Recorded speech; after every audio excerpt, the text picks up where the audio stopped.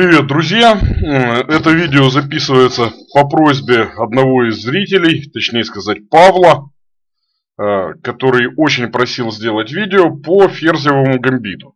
То есть вот у нас на доске позиция из классического ферзевого гамбита. Здесь я покажу одну симпатичную ловушку, в которую мне удалось поймать еще в 2000 году уже тогда очень сильного и опытного своего Э, ровесника Алексея Александрова, неоднократного чемпиона Беларуси, чемпиона СССР там среди юношей, э, если мне не изменяет память, 1990 года. Э, а также тоже на примере собственных партий объясню, почему в эту ловушку не нужно пытаться никого ловить. То есть, почему она на самом деле не работает. Значит, э, один из самых популярных ответов здесь СД, так и было в этой партии. После ЕД слон G5, это так называемый Карлсбад у нас возник. Э, белые не пускают слона на F5. Сейчас чаще играют Е3. Вот. Э, с идеей на слон F5 сдвоить черным пешки на F6. Отличная победа Карлсона над Крамником говорит о том, что там есть некоторые проблемы у черных. Хотя сильные гроссмейстеры эту позицию держат. А, на ферзь c2, видимо, самым точным ходом является конь b8, a6. Э, ну, я сыграл менее точно, но была следующая идея в моей расстановке. Слон d6. Э, белые нападают на h7, не позволяя сделать рокировку, потому что в этом случае после слон бьет h7, черный конь связан, и белые просто выиграли пешку. То есть ход h6 вынужден, слон h4, и теперь рокировка. Вот в этой позиции у белых два хода, белые на распутье. Первый ход конь g1, f3, и второй ход конь g1, e2. Алексей Александров пошел конь f3. Вообще, если приглядеться к этой позиции, мы увидим, что здесь э, типичнейший разменный вариант защиты каракан с переменой цвета. Ну и, соответственно, лишним темпом. У той стороны, которая сейчас белыми играет. Снова белые на распутье, у них есть короткая рокировка, длинная рокировка. Э, есть какие-нибудь наверняка более спокойные, неторопливые ходы. Алексей э, сыграл длинная рокировка. Выглядит самым принципиальным. То есть белые хотят пойти g2, g4, пользуясь тем, что уже есть зацепка на h6, потом ходом g5 вскрыть линию g и дать мат. Однако именно на этот ход и рассчитано построение черных. Ферзь a5, Черные хотят метнуть коня на Е4, и у белых пешка А2 будет незащищенной. Э, кажется, что ход король Б1 сильнейший и наиболее логичный. Защитили на А2, короля ведем в угол, что, в общем-то, поощряется при игре с разносторонними рокировками.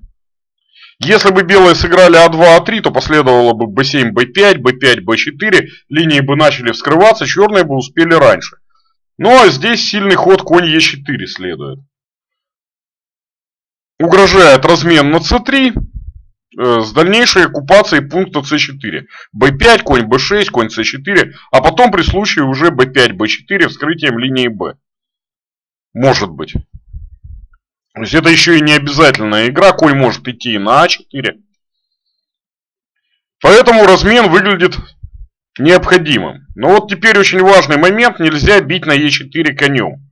Так Алексей не сыграл. Вот в чем заключается ловушка. После ладья бьет Е4, ферзь бьет Е4. Напали на ферзя.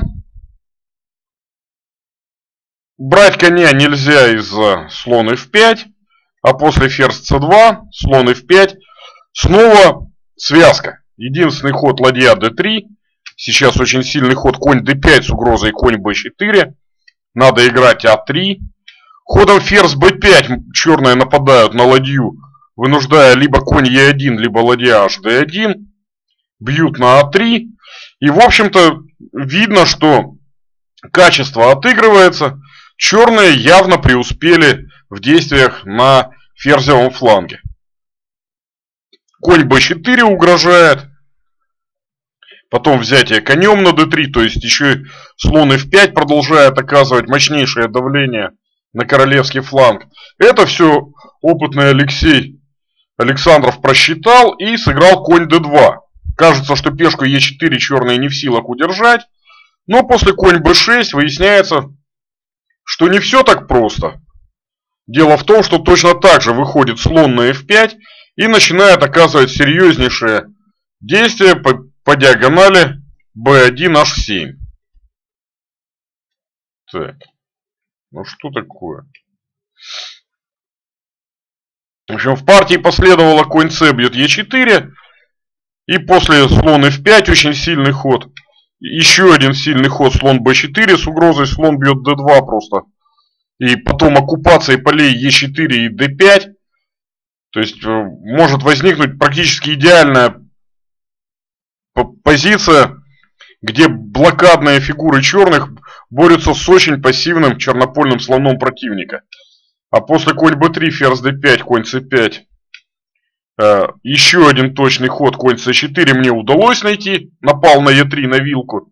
Но в ответ на слон f2 я поторопился с ходом конь d6. То есть здесь было на слон f2 очень сильно слон a3. Напали на b2. А после b3 конь d6 у белых нет ресурса а2, а3. То есть белым просто плохо угрожает конь бьет e4, fe ладья бьет e4.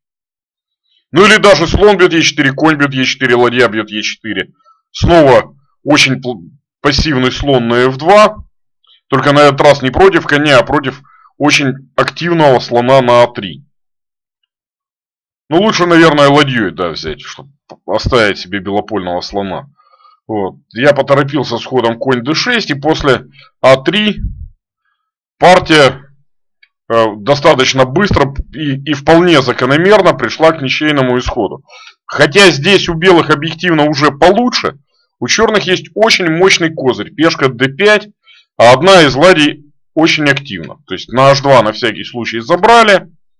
Белые пытаются провести пешку c.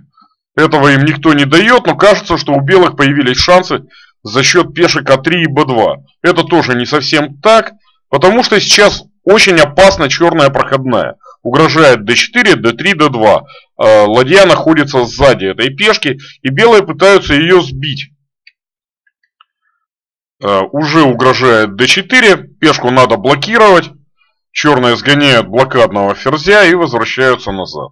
То есть вполне э, разумное троекратное повторение позиции. То есть уклоняться невыгодно ни той, ни другой стороне. Теперь почему ловушка не работает? Ну, во-первых, э, белые могут не рокировать в длинную сторону, они могут рокировать в короткую.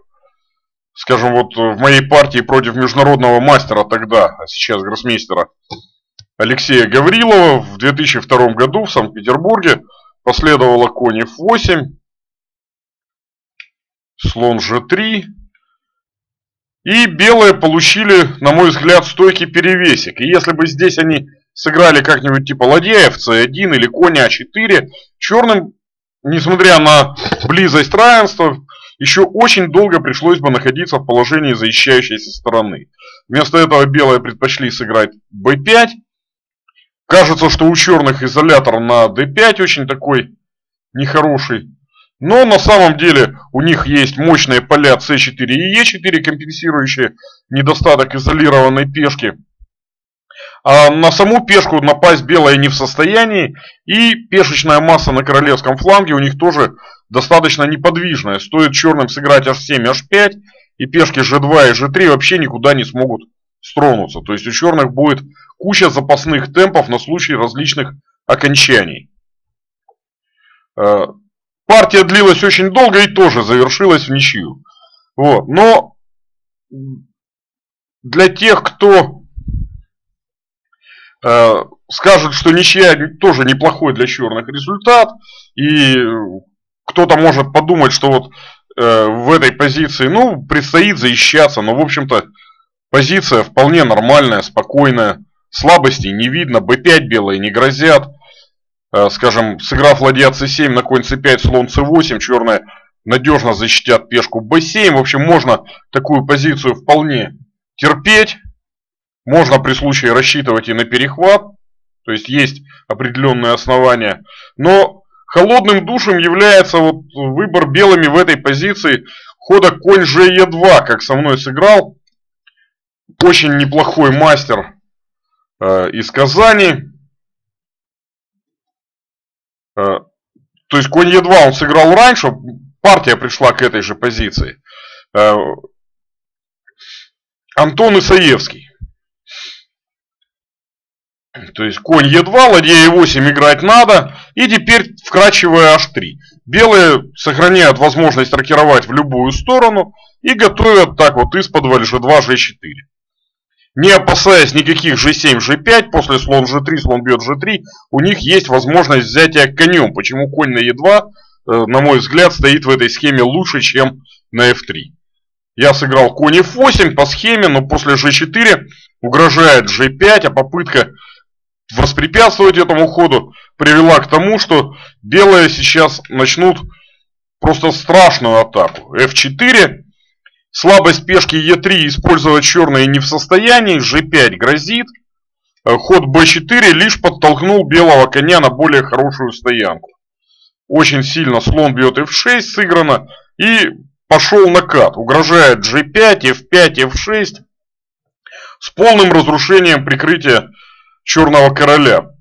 После взятия еще один мощный ход g5. У черных вроде бы две лишних пешки. Обе надежно прикрывают короля, казалось бы. Но грозит ферзь h2. И достойную защиту найти непросто. Ладья d пойдет на g1. Конь g3 может отправиться на f5 или на h5. Да и конь а4 при случае окажется на c5, как было в партии. Вот. После конь f8 Черное поле f5 прикрыли, на ферзь h2 готовы поставить слона на h6, но белые не торопятся. Только на g6 играют ферзь h2. Нападают теперь на слона. Вроде снова на какую-то долю, на, на, на какие-то минуты мне стало комфортно и спокойно в этой позиции. У черных две лишние пешки, вроде все они, все угрозы отразили консолидировались полностью. Ну, мощный удар. Конь h5 лишает иллюзий. После конь бьет g7, мат ферзь h8 неизбежен, поэтому брать надо. Теперь висит на f7 с матом, то есть просто ферзь бьет f7, мат грозит. Э, если сыграть ферзь e7, то надо считаться даже вот с ладья fg1 с угрозой ферзь h8 мат. То есть огромное количество угроз со всех сторон. Я предпочел пойти f5. Но после конь бьет d7, белая просто, просто все отыграли. Вот. Э, очень, еще один очень мощный ход слон e6, угрожает ферзь g8 мат. И приходится отдавать ферзя. Ну и здесь я не стал проверять реализацию своим противникам лишнего качества. Мне показалось, что он просто великолепно провел эту партию. И, в общем-то, я сдался. В общем, вот такая симпатичная ловушка. Ну и параллельно ее опровержения. Так, спасибо за внимание.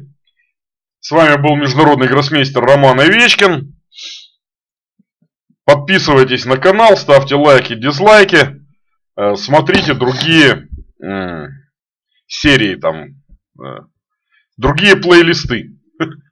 Сейчас еще про фитнес запишу.